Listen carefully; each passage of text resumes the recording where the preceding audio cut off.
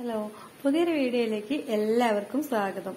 ഇന്ന് നമ്മൾ മസാല ചോറാണ് തയ്യാറാക്കുന്നത്. സാദാ ചോറ് വെച്ചിട്ടാണ് ഇത് തയ്യാറാക്കുന്നത്. കുട്ടികൾക്കൊക്കെ നല്ല ഇഷ്ടപ്പെടുന്ന ഒരു റെസിപ്പി കൂടിയാണിത് അപ്പത് ഇതിലേക്ക് വെളിച്ചെണ്ണയാണ് ഒഴിച്ചു കൊടുക്കുന്നത്. ഇനി ഒരു നാലോ അഞ്ചോ അല്ലി വെളുത്തുള്ളി വട്ടത്തിൽ അരിഞ്ഞത് കൂടി ചേർത്ത് ഇതൊന്ന് നന്നായിട്ട് മൂപ്പിച്ചെടുക്കാം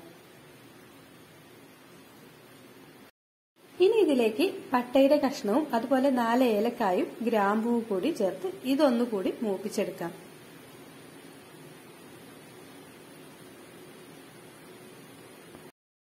ഇതെല്ലാം ഒന്ന് മൂത്ത് വരുമ്പോഴേക്കും ഇതിലേക്ക് വലിയ ഉള്ളി ചേർത്ത് കൊടുക്കാം. ഇത് ഒരു വലിയ ഉള്ളിയാണ് കനം കുറച്ച് അരിഞ്ഞെടുത്തതാണ്. ഇതൊന്ന് നന്നായിട്ട് വഴറ്റിയെടുക്കാം.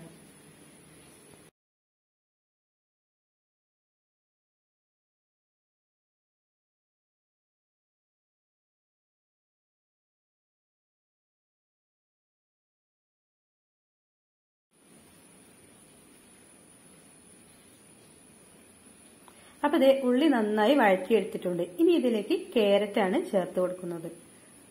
ഇനി ക്യാരറ്റ് കൂടി വഴറ്റിയെടുക്കാം. ഇനി ഇതിലേക്ക് ഗ്രീൻ പീസ് വേവിച്ചതാണ് ചേർക്കുന്നത്. ഇതുകൂടി ഒന്ന് വഴറ്റിയെടുക്കാം.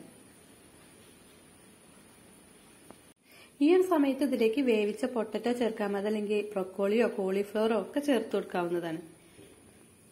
അപ്പോൾ അതേ സവാളയും ഗ്രീൻ പീസും ക്യാരറ്റും ഒക്കെ നന്നായി വഴറ്റിയെടുത്തിട്ടുണ്ട്. ഇനി ഇതിലേക്ക് പാകത്തിലുള്ള ഉപ്പ് അതുപോലെ കുരുമുളക് പൊടി ചിക്കൻ മസാല ഇവയെല്ലാം ചേർത്തിട്ട് നന്നായിട്ട് ഒന്നുകൂടി പൊടികളെല്ലാം വഴറ്റിയെടുക്കാം. ഇത് വെളിച്ചെണ്ണയിൽ ചെയ്യുന്നതിന് പകരം നെയ്യിലും ചെയ്തെടുക്കാം. നല്ല ടേസ്റ്റി ആയിട്ടുള്ള ഒരു മസാല ചോറ് റെസിപ്പിയാണിത് ചോറൊക്കെ കഴിക്കാൻ മടിയുള്ള കുട്ടികളാണെങ്കിൽ അവർക്കൊക്കെ നന്നായിട്ട് ഇഷ്ടപ്പെടും.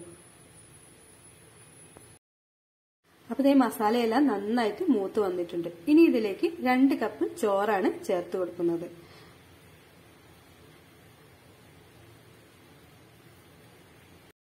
ഇനി ഇതെല്ലാം കൂടി നന്നായിട്ടൊന്ന് ഇളക്കിയെടുക്കാം. ചോറൊന്ന് ചൂടായി വരുന്നവരെ ഇങ്ങനെ വഴറ്റിയെടുക്കാം.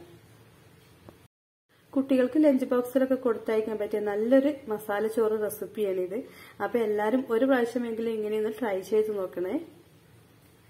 അപ്പൊ ഇത് ഏകദേശം ആയി വന്നിട്ടുണ്ട്. ഇനി ഇത് ഇറക്കി വെക്കാം. ഇനി ഇതിലേക്ക് മല്ലിയിലയാണ് ചേർത്ത് കൊടുക്കുന്നത്. ഇതുകൂടി ചേർത്ത് ഇതൊന്ന് ഇളക്കി യോജിപ്പിച്ചെടുക്കാം. എന്നിട്ട് ഇത് ഒരു സെർവിങ് ഡിഷിലേക്ക് മാറ്റി കൊടുക്കാം. അപ്പൊ അത് നല്ല ചൂട് മസാല ചോറ് ഇവിടെ റെഡി ആയിട്ടുണ്ട്. ഇതിന്റെ കൂടെ പപ്പടമൊക്കെ കൂട്ടി കഴിക്കാം. നല്ല ടേസ്റ്റി ആയിട്ടുള്ള റെസിപ്പിയാണ്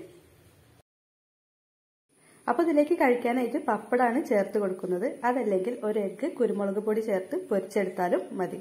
അപ്പൊ നല്ല ടേസ്റ്റി ആയിട്ടുള്ള മസാലച്ചോറ് റെസിപ്പി എല്ലാവരും ഒന്ന് ട്രൈ ചെയ്ത് നോക്കുക. വീഡിയോ ഇഷ്ടമായാൽ ലൈക്ക് ചെയ്യുക ഫീഡ്ബാക്ക് അറിയിക്കുക. അതോടൊപ്പം ചാനലിന് കൂടി സബ്സ്ക്രൈബ് ചെയ്യണേ. മറ്റൊരു റെസിപ്പി ആയിട്ട് വീണ്ടും വരാം. ബൈ